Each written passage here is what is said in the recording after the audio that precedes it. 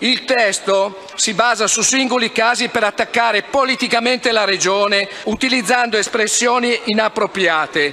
Si parla di contesto di illegalità diffusa, di controlli insufficienti e di carenze sanzionatorie di cui costituisce la cartina di tornasole la vicenda di un dirigente regionale cioè si è impiegato un tono dispregiativo per descrivere la vicenda certamente grave, ma isolata e sulla quale, caro collega Endrizzi, il presidente Zaia ha da subito collaborato con la Procura della Repubblica di un funzionario per rappresentare la Regione Veneto come contesto di illegalità diffusa. Oh! Ma stiamo parlando veramente della Regione Veneto in questa relazione oppure della Sicilia, della Calabria o della Campania? Si avanzano poi affermazioni di influenza dell'organo politico sulle valutazioni ambientali degli impianti e si elencano le distorsioni e le elusioni delle norme che normalmente avvengono sul mercato presentandole come il vero problema del Veneto.